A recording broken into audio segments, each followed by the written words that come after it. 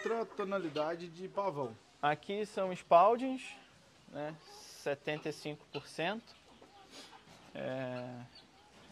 O Spalding ele é um cruzamento entre o verde e o, o azul, né? a espécie azul.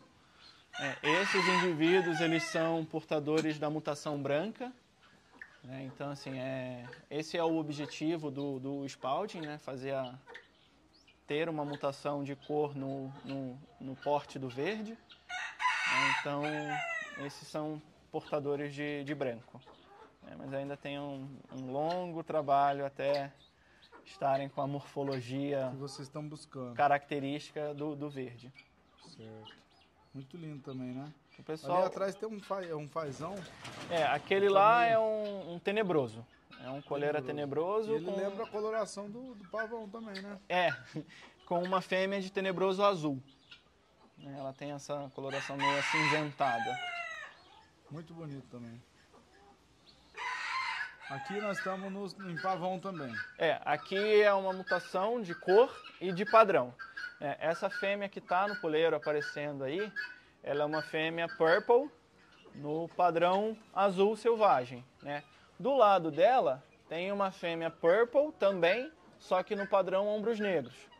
Então ela mantém a cor né, marrom, mas ela muda o desenho da pena.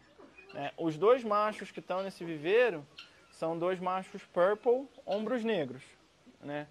Que eu não sei se vai dar para ver por conta da iluminação, da hoje está meio diferente a- o clima aqui, mas assim a o padrão ombros negros no macho ele lembra bastante o, o macho azul comum, mas ele perde o barrado da asa.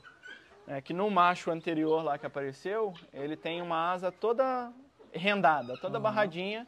É, o macho de ombros negros, ele perde isso. É, e como esses aqui são indivíduos purple, é, eles têm a coloração ali marrom.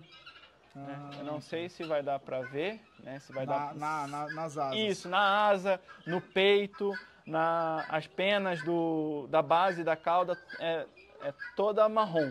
Né? Todas elas são marrons, né? elas têm um tom de café.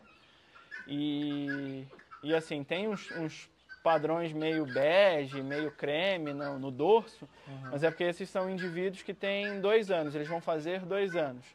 É, com três a quatro anos eles perdem esse padrão meio bege, então eles ficam inteiramente cor de chocolate. Legal. E o pescoço deles ali, aquele azul, ele brilha. Né? Entre roxo, azul, ele vai brilhando Brilhando. de acordo com a, a iluminação que bate na, na pena e reflete.